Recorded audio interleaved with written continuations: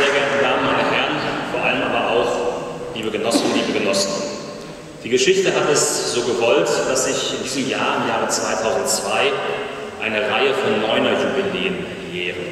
1919 trat die erste demokratische Verfassung, die nach ihrem Entstehungsort benannte Weimarer Verfassung in Kraft.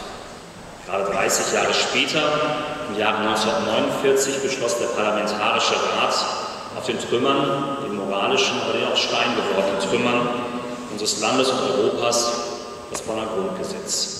Weitere 40 Jahre später fiel am 9. November 1989 die Mauer in Berlin. Drei Wegmarken in unserer Geschichte, die immer wieder das Licht der Freiheit, der Demokratie in einem an Dunkelheit reichen 20. Jahrhundert in unserem Land aufscheinen ließen. Diese Ereignisse, diese drei, vielleicht auch willkürlich herausgegriffen, manche sagen, vielleicht auch willkürlich positiv herausgegriffen, denn es gibt auch ganz andere Entwicklungszahlen, die man als Beispiel für unser Land nehmen kann, sind nicht solitär vom Himmel gefallen, sondern sind aus einer längeren geschichtlichen, sozialen oder politischen Entwicklung heraus Entwicklungshöhepunkte, aber in Teilen auch leider Tiefpunkte unserer Geschichte. So sind die Verfassungen von 1919 und 1949 ohne die beiden verheerenden Weltkriege nicht denkbar.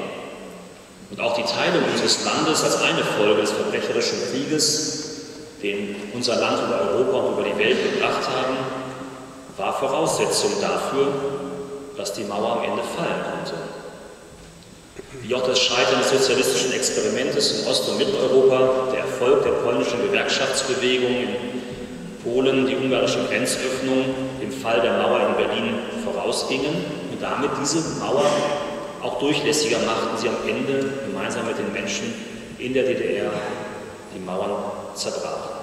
Sie bilden also gleichzeitig Endpunkte, aber sie waren auch Anfänge für eine neue Entwicklung.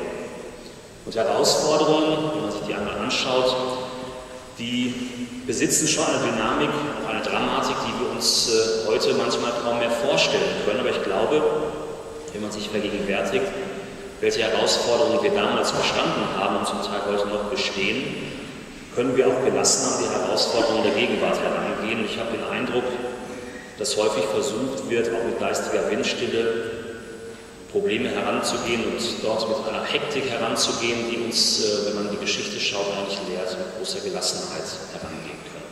Das gilt für uns in der Politik oder wie Helmut Schmidt sagt, in der politischen Klasse genauso, für die Herren und für die wenigen, zu wenigen Damen der Ökonomie.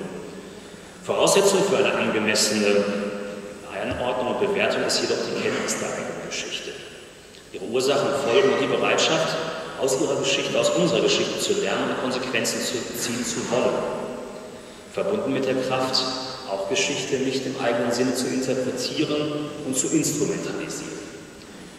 Die Versuchung ist in diesen Tagen besonders groß und sie wird, glaube ich, größer, da sie ja Erfolg verspricht. Viele, mir scheint zu viele in unserem Land, aber das darf ich heute auch sagen, unserer Partei scheinen mir mittlerweile geschichtsvergessen geworden zu sein und obwohl man gemeinhin sagt, dass Geschichte sich nicht wiederholt, besteht doch die Gefahr aus Unkenntnis, sich doch wieder auf eigentlich reichlich ausgetretene Holzpfade zu bewegen.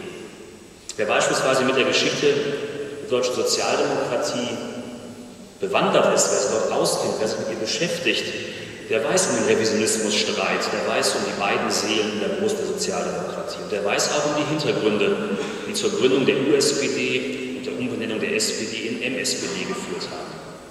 In Kenntnis all dieser Fakten verlieren die heutigen Streitigkeiten um den Umgang oder die Akzeptanz neuer Parteien im linken Spektrum unserer Parteienlandschaft erheblich an Schärfe. Im Gegenteil, historisches Bewusstsein birgt die große Chance, die Auseinandersetzung mit der genötigen Gelassenheit, selbstbewusst als Sozialdemokrat mit solchen historisch gesehen eigentlich normalen Entwicklungen umzugehen. Und auch das Scheitern der Weimarer Koalition unter Otto Müller 1930, das konstruktive Misstrauensvotum 82 gegen Helmut Schmidt oder der Versuch der Flucht nach vorn 2005 von Gerd Schröder mit der Entscheidung Neuwahlen anzusetzen, hatte, wenn man die Geschichte hinter der Geschichte kennt, tiefere Gründe als die von den Beteiligten in der konkreten Situation durchaus kundgetan. Es gibt eben immer auch eine Geschichte hinter der Geschichte. Um zu verstehen, ist historisches Bewusstsein, ist die Kraft zur Auseinandersetzung mit der eigenen Geschichte also unbedingte Voraussetzung. Nur wer um seine eigene Geschichte weiß, wer erkennt, woher er kommt, kann wirklich bewusst entscheiden, wohin er gehen will.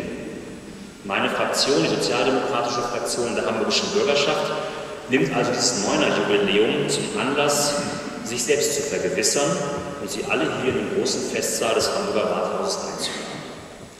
Und ich freue mich wirklich aufrichtig, dass so viele von Ihnen, von euch dieser Einladung gefolgt sind. Und um der Ehre, die Wahrheit der Ehre zu tun, wer die auf Einladungskarte geblickt hat, weiß es, eigentlich hatten wir gar nicht mit diesem enormen Zuspruch gerechnet.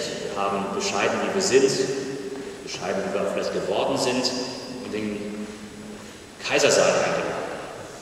Hatten gedacht, naja, da kommen so 60, 70, 80 Menschen, die dieses Thema interessiert. Und sind überwältigt von der enormen Zusage, von dem enormen Zuspruch, den diese Veranstaltung betroffen hat. Und ich glaube, es war eine richtige Entscheidung, die Veranstaltung zu machen und vor allen Dingen auch äh, so breit einzuladen, denn Sie zeigen ja, dass es ein ganz, ganz großes Interesse an diesem Thema gibt. Und dafür möchte ich mich ganz herzlich bedanken. Und ich glaube, dieser Raum, der große Festsaal des Hamburger Rathauses, ist dann auch für diesen Anlass mehr als. Ganz besonders freue ich mich, unseren Festredner begrüßen zu können. Lieber Henning Foscherauch, ganz, ganz lieben und herzlichen Dank dafür, dass du sofort bereit gewesen bist, diese Aufgabe heute als Festredner für uns zu übernehmen. Und ich bin sicher, dass äh, nicht zuletzt auch du und deine Rede Grund dafür gewesen ist, dass so viele Menschen heute den Weg in den Festsaal gefunden haben. Ich möchte dir ganz, ganz herzlich dafür danken, dass du bereit bist, heute zu uns zu sprechen. Ich bin am Ende meiner Begrüßung und ich freue mich, dass mit dir, lieber Henning, jetzt endlich mal wieder sozialdemokratischer Bürgermeister von dieser Stelle zu sprechen. Vielen Dank.